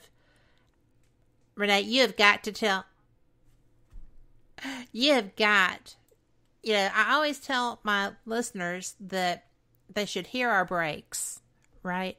Because breaks are the fun part of doing radio. but oh. you've got to share that story because you were talking about the show when we went to break, and I was like, well, you think on that, and we'll be right back. So, you want to tell them? Yeah, because uh, it's great. The last time, our last visit, which was last August, uh, I always set up, like I said, the my equipment in the whatever room we're in, and it, you don't have to be in a certain room. It's it's all the rooms. Usually, we're on the on the third floor. Uh, this time we got the suite, Seth Bullock's suite, his oh, room. That's so cool. And it, it, oh, it was. But I was uh, in there and and with with him, you don't get yes or no. You get full sentences. And I was talking to him, and I got a presence of an Indian in the room with us. So you know, I'm trying to find out who this Indian is. Well, he's over there mad, and, and on the thing he kept saying, "But I'm Seth. I'm Seth." And I'm like, I was just trying to find out who he, and he got, he got so mad because I, I guess he thought I was ignoring him. and what really got me was John, you know, he said the whole time that I was doing all this, he was laying over in the bed reading. He, he loves to read. Yeah. And, uh, he said that something kept punching the side of the bed. And I'm like, why didn't you say so? He tells me after we're we're almost we're halfway home. you know, Oh we're talking goodness. about something. something kept hitting the side of the bed. And he said it done it two or three nights and would wake him up, oh my gosh. hitting the side. Why didn't you tell me I could have turned the camera on you and, turned it on, you know, Right. and let it play? But you, Well- you won't be you you won't be disappointed at all going there. Well, she and her husband, Denise and Ron, are both paranormal investigators. They are Pride More Paranormal. And Mhm. they are awesome. They're um, up in Kansas. So Oh, okay. she's amazing. Well, he's amazing too. But I know her better because, like, we talk all the time. She has a show here too. So, Oh. and not only that, we would talk all the what all the time anyway. well, I But- highly recommend. I highly rec- recommend Deadwood. Well, I bet she's already made her reservation, or they're looking at them now. So, Tell her if she's reservations, don't go on like booking.com or any of those. Uh, get in touch with the hotel itself. Because if you look on booking.com, it'll say no vacancies, blah, blah, blah. And, uh, I found that out because I got tired. You know, I finally just one time I was trying to get one, kept watching and kept watching. And finally I just, I said, I'm going to call them and come find out they had all kinds of rooms. well, there you go. So I mean, it, it's it's a gorgeous hotel. Like I said, it's still in the old days, you know, in the Western days. So yeah, it's it's not the height, but it is it's beautiful. Our room was gorgeous, Well, and if you're gonna get if you if you like staying stuff like that, I would recommend getting a suite. They have the Teddy Roosevelt suite. Him and uh, Seth Bullock were best friends. So there's, I think there's four suites and they are, you get a balcony with those. too cool. Well, she's I'm I'm telling you, she's she's already owned that. Is it twelve hours from them, but they're already owned that. So, you know, I am curious. I know that y'all travel and you go to Deadwood every year, but Mm. where is the where is the one place that you have had a paranormal experience that really, really tripped you out? As far as like scary or, Yeah. oh, okay. That's, this is something I have re- just recently started talking about. I, it happened when I was 20 year old. I'm 60 now. Uh, and I wouldn't talk about it. I, I guess I was scared that it would come back, but the me studying demonology and stuff, I'm not scared anymore. Uh, you know that. I, very very few things scare me. But at 20 year old, when it, all this is really just hitting you at one time, uh, I was sitting and I was not asleep. I was sitting on the couch. It was when me and my daughter's daddy were still married, and he he was at work. And all of a sudden, it was, and I'm an artist. I could draw it, but I won't. I will not draw it. It was the awfulest face that I've ever seen in my life, and it reached into my soul. And was trying to pull me out, my soul out of my body. The reason I know it it was doing that is because I turned around and could see me laying on the couch. Holy And- snap. I couldn't scream. I couldn't talk. I couldn't breathe. And I had remembered, you know, I, you know what your talk comes back to you when you're older. Uh, that when you're in trouble like that, a demon, whatever, to call on Jesus Christ. Well, yeah. And I put it in my head hard enough, and it finally came out my mouth. And when I did, it dropped me. And that that's about the scaredest I have ever been. I can see that. It, That it was. is- uh, that is I can awful. still, see its face. I can still see its face. Uh, the other time, I guess, here at this house, which we have, his mom and daddy still running around here, and his grandmother. They they're still running around this house. Yeah, I told you that when you were here. Yeah. But I have uh, the hospital, South Pittsburg. They pop in. Jim pops in because I, I still have a lot of Jim's personal stuff here, and uh, the caretaker. Mm-hmm. And he pops in. He the re- how I know he's here is my stereo will turn on at two o'clock in the morning. It'll on, and you have to hit a button to turn my stereo on. Right. And I'm like, okay, Jim, I'll sit up with you for a few minutes. Then, you know, you've got to leave, go somewhere, go in the next room. But I, I've got to, I've got to get some sleep. Uh, but there was one night, it wasn't Jim. Uh, it was whatever's at the hospital. The other, there is another. He's not a demon, but he is evil. And I He's tell people, you know, there's, there is, yeah, there's a difference you can be evil without being a demon. You know, you're a butt in life. You were evil in life when you died. it transcends with you. Absolutely. an evil. It pushed me, and I've got one of the, the Tempur-Pedic beds. It had me pushed all the way down to the the mat, the other mat, the box springs, whatever you Oh call it. Oh my gosh. It had me, so much pressure. Yeah. And I Were you on your back or your stomach? I was awake. And I got enough control of me and it let go. And when it did, I told him, I said, I don't know how I kept, how, how in the world I kept from waking you up because I was so mad. I How dare you come into my home? And here I went in my, you know, my little blessing bag that I carry, got my stuff out. I told him, I said, I don't know where you came from, but you better go back. You are not welcome here. And I, I, I, did tell it. I said, me, you, and Jesus Christ, there is not enough room for all three of us. So you've got to go. Good for you. Yeah. You know, people don't. People forget sometimes that, you know, you have ownership of you. Exactly. Especially if you are a person of faith. I Mhm. firmly believe that. I mean, I know people who, who are faithful who have demonic instances and because it is insidious, you know, kill, seek, destroy is actually what it does. Mhm. And, you know, it's just absolutely scary when you have no experience with the Yes. paranormal, you have no knowledge of the paranormal, and all of a sudden, just think if you didn't do what we do and that happened to you, what would your reaction have been? You would have been terrified instead of Oh, mad. That's the one that, that when I was 20, uh, I had, I mean, I saw spirits. I, you know, I could tell things before they happened. Uh, Yeah. It was stronger, uh, more strong then than it is now.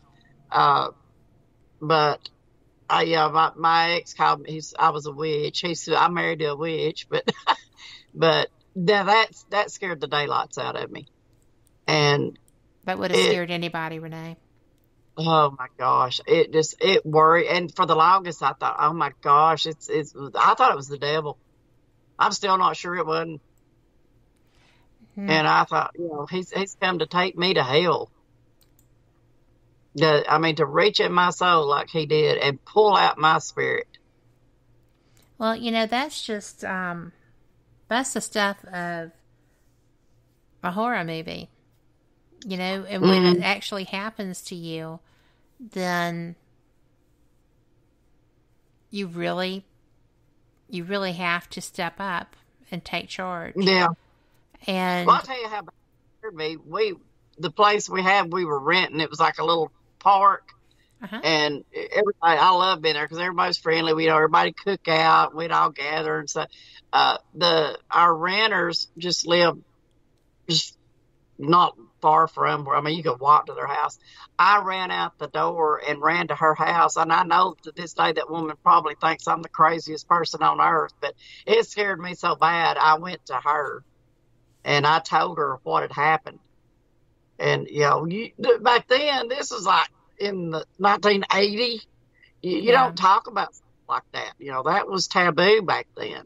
You were you were crazy, or you know, you know, you're on some kind of medication or something. Something.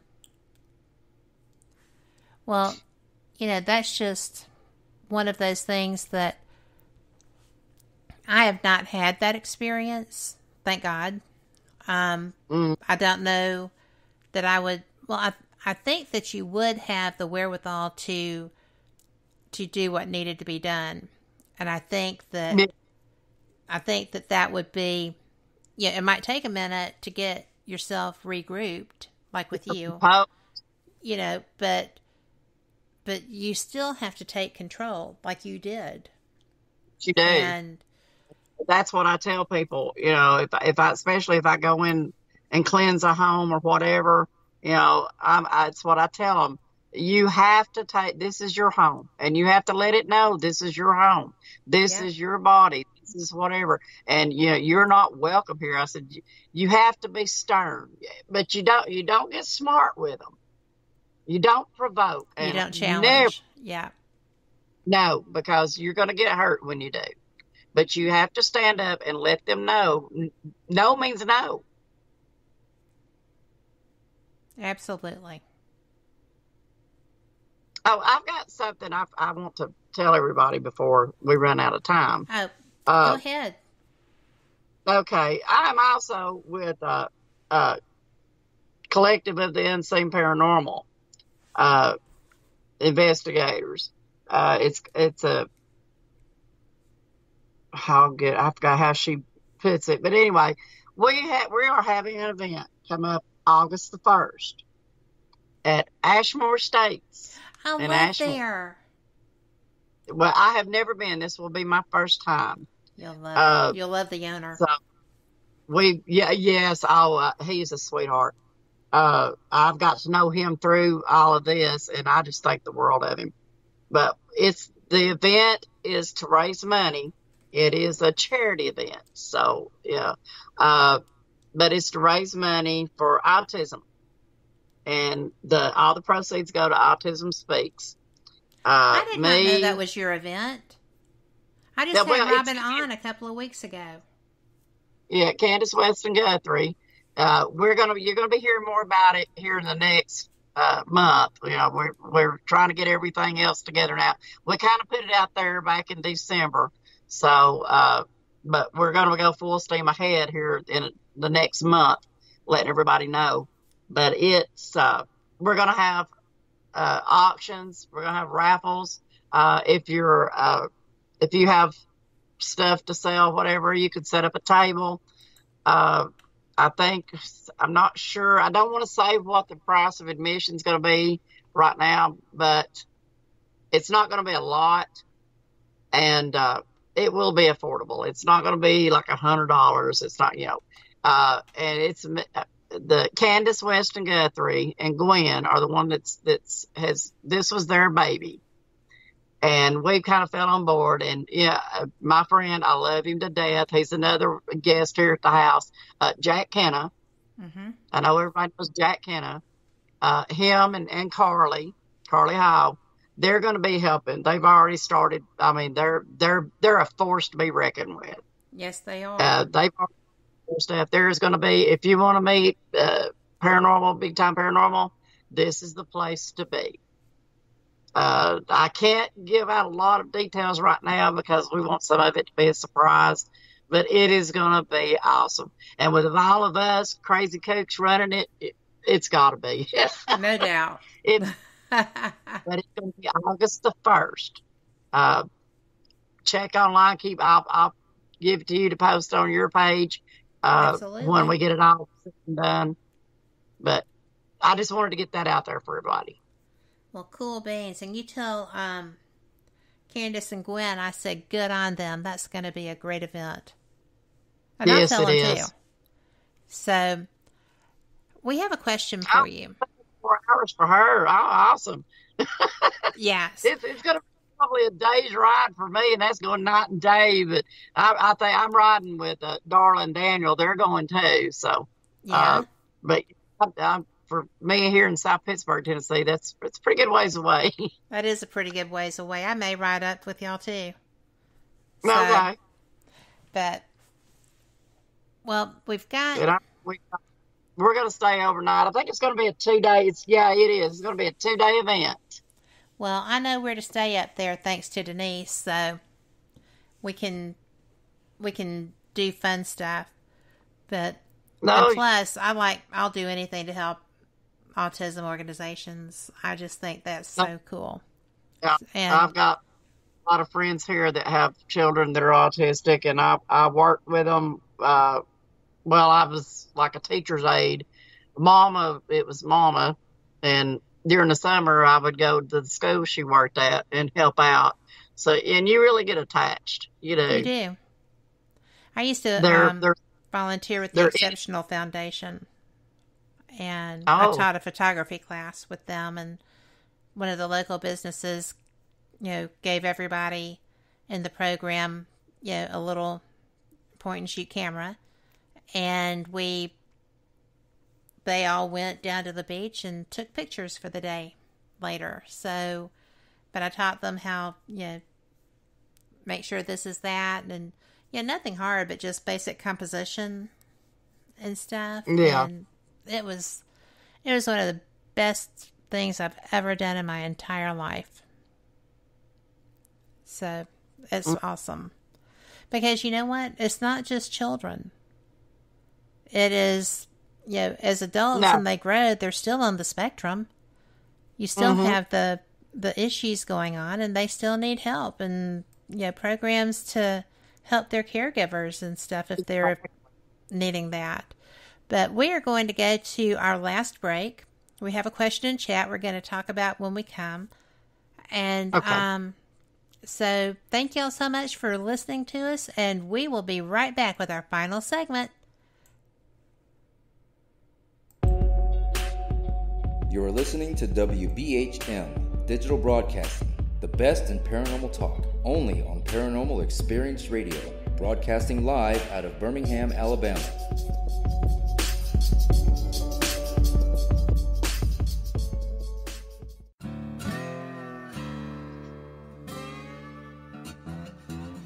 Oh, come on. I'm Southern, but.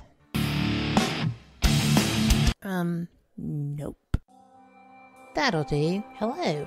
I am Kat Hobson, host of Paranormal Experience here on WBHM Digital Broadcasting out of Birmingham, Alabama. I enjoy having guests from all areas of the paranormal, from ghosts to ufology to cryptids and beyond. You'll find some of the best researchers in their fields bringing you some great information. Join me on Wednesday nights from 8 to 10 p. Eastern here on WBHM Digital Broadcasting. Since 1948, Fate magazine has brought you reports of the strange and unknown, all of them true. Fate Radio is carrying on that tradition, bringing you the unusual, macabre, strange, and bizarre. Join host Kat Hobson Sunday nights from 8 to 10 p.m. Eastern on WBHM Digital Broadcasting.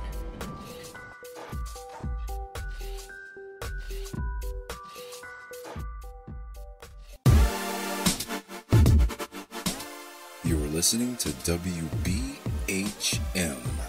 Digital Broadcasting, the best in paranormal talk, only on Paranormal Experienced Radio, broadcasting live out of Birmingham, Alabama. Welcome back to Paranormal Experience with Kat Hobson. That's me.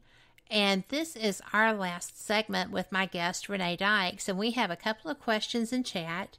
So I bet you didn't anticipate that reaction to everybody ready to to go up to Ashmore, did you? That Robin No. Terry is one of my favorite people. He is a genuine good guy. And he does more stuff for more people than anybody would ever know. And he certainly isn't going to tell them. So he's astounding. But um, we have two questions. The first is um, I didn't realize that she goes to help homeowners that have spirits. Have you ever run into a demonic presence in a home that you were cleansing? No, no, I have ran into evil, never demonic. Uh, contrary to popular belief, the chances of seeing a true demon are like a million to one. Yeah. Uh, you and a lot of times the spirits like that I've ran across, they're just as bad. I mean, they're they will hurt you. Yeah. Uh, but as far as a demon, uh, is in a in somebody else's home, no, Well, no, and and the ones that I do cross over, uh, I can't explain it, but it's like they go through me. Uh, it's they go like in and then like out of the top of my head is the only way I know to explain it. And and the I can always feel the way and the only way I know to describe this and I know men and some women are not going to understand this, but that's the way it feels. If you have ever had a child and nursed that child, that weird feeling you get in your stomach, that's what it feels like. okay. That's Well, only way I know to interesting. describe But. Now, I have, I've run across some, pretty bad stuff. yeah. I've got one I'm waiting because it, they'll they'll contact you, and then I think and it's every time I think they get scared. I'm sure they, they, get uh, scared. I've seen that have happen too. For a while. And then there's some, you know, like that, because I'm in with a few uh, people like Jack. You know, if there's something that I can't get to, you know, I holler at him. And uh, I tell you, two of the best as far as that is, is him, is Jack Kenna. I've learned a lot from him too. I love the man to death. He's one of my best friends. Well, Uh, he's just and a special Michelle- person. Yes, he is. And I said years ago, I think it was like 2012, I said, I'm going to meet that man one day. And I did. And I, I was like you, I fed him. He stayed over at the house. Uh, but the other one that is just awesome to me is Michelle DeRoche. Yeah. I, uh, she is just, I don't know, like an idol. I don't, I don't want to say that word, but it, I love her. She just, she's just to me is awesome. She is just so strong willed, and it, you just talking to her, even like on on the phone or something, you can feel her energy. She is that strong. Really? hmm Well, that's kind of neat. I've never met her, but I would like to. We have followed each other for years. Yeah. So, She's sweetie. well, I think the world of her. So, Yeah. she's never done anything that I've ever seen that would give one pause. And that's pretty cool. She she's true. She's true to her to her nature, and she just what you see is what you get. And She's a lot like me. I mean, I've if I, if it's out in my head, it's out my mouth. Yeah, I have that trouble. no filters. Sometimes I know. wish I had a filter, but you know. Yeah, that's why I mean you get along so great. Yes, it is because we don't. Life. So, I have one more question for you so far, and it is Have you ever witnessed an actual exorcism? No. And I want don't to? want to. No. No, uh, I I'm brave, but I don't think I'm that brave. I don't think Uh, I am either. I I had And Yeah. I studied my demonology. I, I'm not going to say his name on here. Uh, but who I studied from, he is uh, he worked with the Catholic priest. He's from Scotland. Uh, he that's pretty much what he helped do. Uh, he was also uh, part of the uh, Knights Templars, and he was he's just awesome. He's a great teacher, and I learned so much from him. And you know, I would sit and ask him about stuff, and he would describe some of the stuff. And no, I never want to. No, no, no, no. I heard um, I heard James Long lecture once, and he played actual audio. Mm. And yes, I, I was done. Him. I was I was absolutely undone. I really was. I was. Is, he has a demonology course. Who does? I don't know if a lot of. Oh, James. Bishop. Yes, he does. Yes, he and... has one. I'm very seriously because I can't get enough of it. I'm sorry, I can't. But, well, you, you had know, that experience, right? Yeah. And you're convinced you that learn, what that was. You know that's what that was. Well, everybody has their own techniques, their own yes. ways, and yeah. But there are like, certain rules.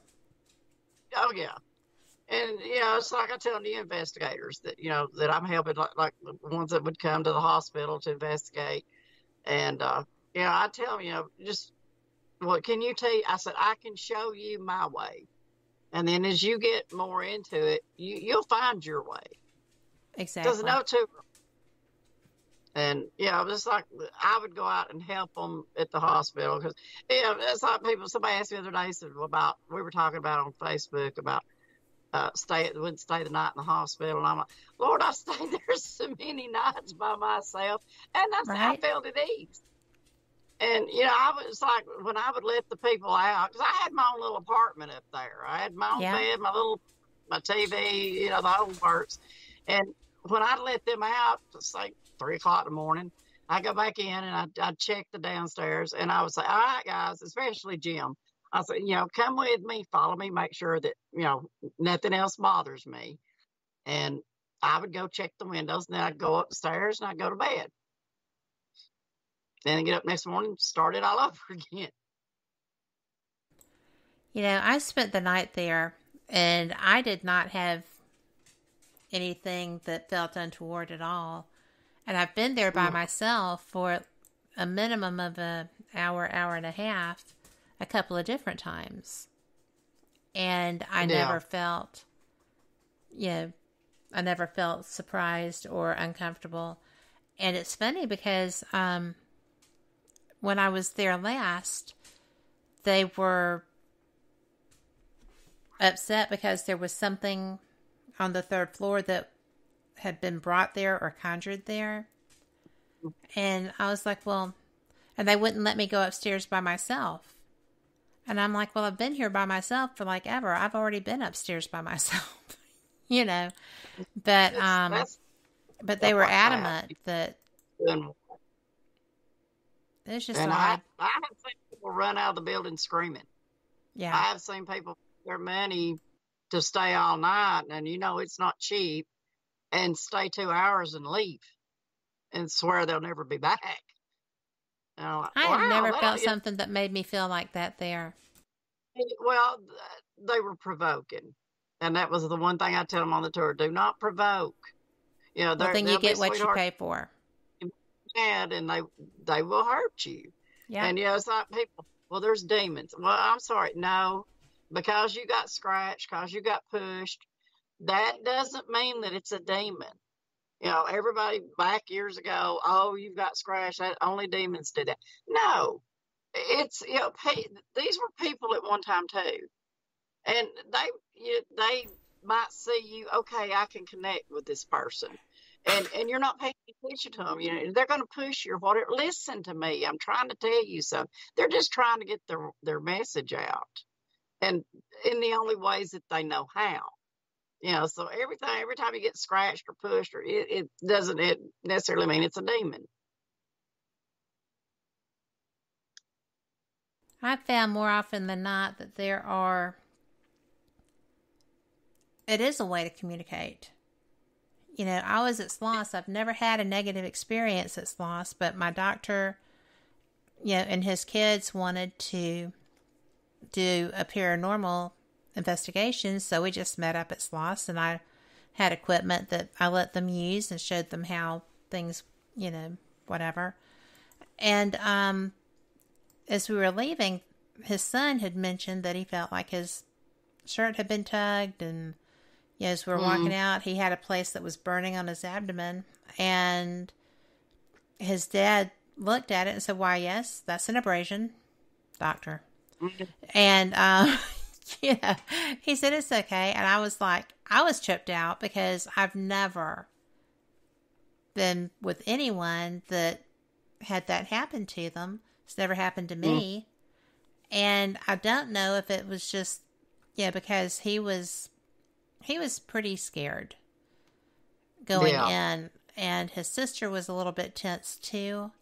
So and every time that something would move, she would jump and you know What was that? She'd been watching Adam. she, what was that? She did the same she her her son brought her to the hospital one night. Oh my gosh, she had to leave. I tell you, Nolan is a good place to go if you've never been. And that's the Thomas House. Yes. Oh my! I love the Thomas House. I walk in the door. I'm carrying my suitcase up the stairs, and this man whispers in my ear. I have never been there before in my life. And I turned around and I saw this figure standing up there on the balcony. I thought, well, and I'm I'm standing there going, what, what? And yeah. of course, they're the come with her at the door and they're looking at me like, what are you doing? I said, and I got to looking at it again. It was a mannequin. I'm like, well, that wasn't it. And I said, I just heard somebody whisper in my ear. Yeah. And I got jumped that night. And that I said, I have never in my life, I was like, I lost my brother when he was 25. I saw what my mother went through. I've never, I don't know, I didn't know that feeling. But I do know now what it feels like. Uh, she, I don't know who she was, but she had lost her child, and I, I couldn't do nothing. I cried for 15 minutes, and that my night was over after that. And I went up to my room, but it, I wasn't scared, but I've, I've been jumped two or three times, and it's. It's not fun. I don't like it. I got jumped at the hospital back when I first started working there. Uh, but I kind of learned how to block it. But that night, it was kind of, I guess, out of the norm. I wasn't expecting it. I had my guard down. Right. Always a bad idea because that's when, yeah, they yeah. know. They know when yeah. you are relaxed and not paying attention. Yeah, yeah that what did they? And I'm, I'm like, oh my! And I didn't, I didn't investigate the rest of the night. I, I told them, I said, y'all go ahead. I'm going to my room. And it was pretty, pretty early in the the night. I mean, it was maybe ten o'clock. But now that's that's a good place to investigate. I like it too. In fact, we um when we were filming the Portal show, we somebody I don't even remember we heard through the grapevine that that they were going there, hmm. and mm. sure enough, they did, and they yeah. just aired yeah. this season two. So we were the season two episode, uh, premiere episode for them. It was a two-hour show. That was that jail. You need to go with me up to Ohio to that jail because I can't wait yeah. to get you in there. But um uh-huh. but the um it is off the chain. And the Thomas house is too. But the Thomas house is dependent on the mood of the house. Yeah. So yeah, that takes a lot of I did. I mean, I like I said, I walked in the door. Mm-hmm. like, okay. That happened to me, but in the conference room. I was walking in the conference room, and there was a woman's voice up above me. excuse me, and it just said, "Hello there," and I was like, "Hi," and I turned around and there was nobody there, and I was like, because I'm, I am clairaudient, but it doesn't hit very often, so. Well, we are Yeah. at the top of the hour, so I'm going to need you to let people know how to find you. Okay. Uh, my page is pretty much it's set on private, but you can uh, contact me through my Tennessee uh, Night Stalker Paranormal Intrigue. I have a page there. Uh, you can send me a friend request on my page. I think I still got that up. I, I had it closed for the longest because I kept getting these strange people. I know, So, right? I- I'm like, okay, you know, man won't know, baby, you're so beautiful. No. So- Not not your day, dude. but I mean, you can you can send me a friend request, or if not, I'm, I'm on Messenger. You can you can get me through Messenger. And like I said, once the uh, event page for the Ashmore event pops up, I'll I'll post it on my Ten Spy page, and uh, I'll give it to you. You can or you can steal it from me, whatever. Either way works. We're friends. We'll get it out one way or another. I think I'm safe from you. So, but you know, I have had the best time. Thank you so much for coming on with me. Um, This thank has you been for good. having me. Joyful. I wasn't nervous this when I done interviews for, and I was so nervous I just blubbered. you're perfect. You're Well, thank you. perfect. So, well, we are going to have to run because we are late. And, you know, I just want to let you know that we are going to be, we're starting to hit break times, and Denise is going to be off next week and the following week. She's off next week because I'm going to be guesting um, Vegas Supernatural with Sean Whittington, and I'm so excited about that because we've tried to do this for years. And Denise said, you know, she told Sean that she would just take off so that I could be on with them. So love her for doing that. Love her anyway. And but Sunday night on Fate Mag Radio, I will have Mark Anthony, the psychic lawyer. He is going to be so much fun. And then on the Wednesday, the 20th, I will be guesting Sean, hosting Sean Austin here again on Paranormal Experience with Kat Hobson. So I am looking forward to that. I haven't talked to him in eons. It's going to be a good time. So Denise will be back live on June 1st, she said. So, y'all, thank you so much. Thank you for being here and thank you for your questions and just take care of you. You know, we always talk about how things things happen, right? And it's a tough time right now, but you know what? Be the change. Just be the change you want to see. Be the friend that you'd like to have. Be the person in line that you would like to be standing next to, not someone that scares people away. You know, just um, be gentle. Just be Mm. gentle. Everyone is scared. Everyone knows that this is some bad stuff. And I mean, that's not even counting the political stuff. I mean, Jiminy Crickets. One thing at a time. Take care of the health. The other stuff will take care of itself. Manifest that change. You can do it. Thank you so much for joining us. We'll see you next time. Same cat time, same cat channel. Good night.